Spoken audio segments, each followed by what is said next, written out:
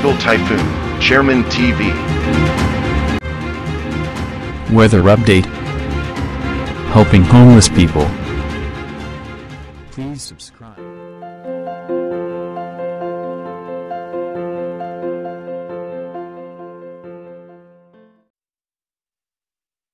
Magandang umaga po. Ito po ang ating weather update ngayong araw, November 19, 2021. Uh, minomonitor nga po natin anong ah, low pressure area, no?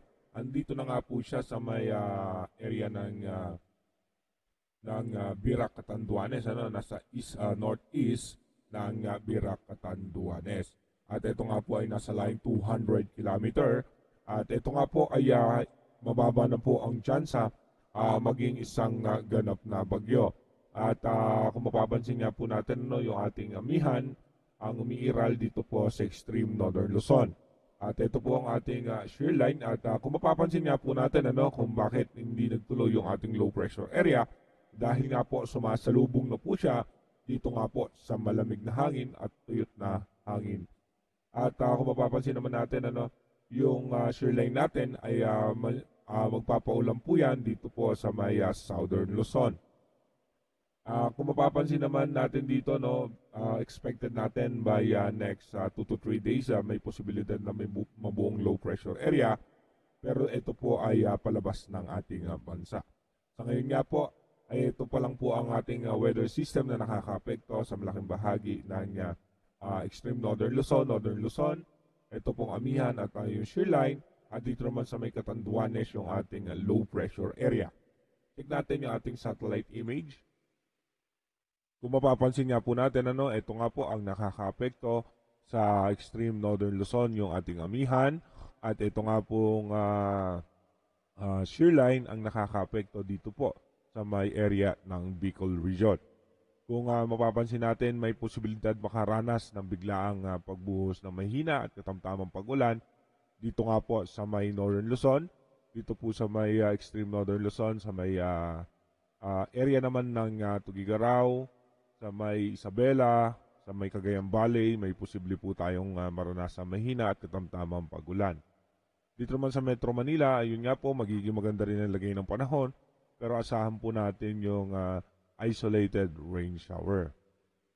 Sa may uh, Bicol region naman, mapapansin natin may posibilidad makaranas ng biglang pagbuhos ng pag-ulan dahil po yan sa ating uh, shear line at yung ating low pressure area.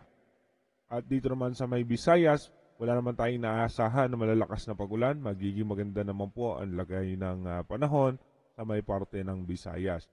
Sa may Mindanao naman, ano, may posibilidad tayo makaranas ng mga pulupulong uh, pag-ulan dahil dala pa rin po yan ng ating ITCC o yung Intertropical Convergence Zone. Maging dito po sa Palawan, no, wala na rin po tayo masyadong inaasahan na malalakas na pag-ulan, maliban na lamang nga sa isolated rain shower, lalo po dito sa may area ng Puerto Princesa, Palawan. Check naman natin yung ating advanced weather forecast. Ayun nga po dito sa ating advanced weather forecast by uh, uh, Saturday, uh, November 20. Mapapansin nga natin may posibilidad na low pressure area dito sa may uh, uh, par line pero nasa labas po ito. At ito po ay hindi naman inaasahan magiging bagyo at ito po ay palabas ng ating bansa.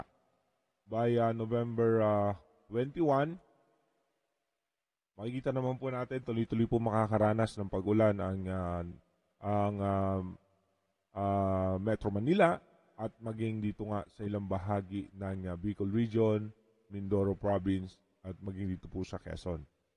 By uh, November 22, asahan pa rin po natin yung mga biglang pagbuhos ng pagulan, bunsod pa rin ng ating uh, shear line at ng amihan. By uh, November 23,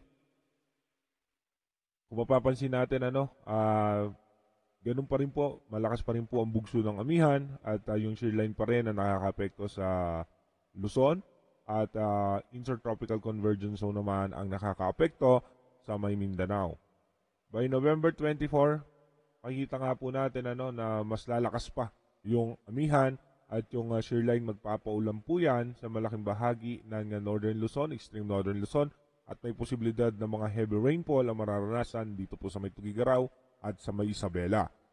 By uh, November 25, mapapansin nga po natin yung makakapal na kaulapan at yung malakas na bugso ng amihan at uh, ito nga po ay uh, magpapaulan dito sa Northern Luzon. Maka- makaranasan po yan ng ah, dito po sa may Apari, sa may Cagayan Valley, sa may ah, Isabela, Tugigaraw, ah, Ilocos Region.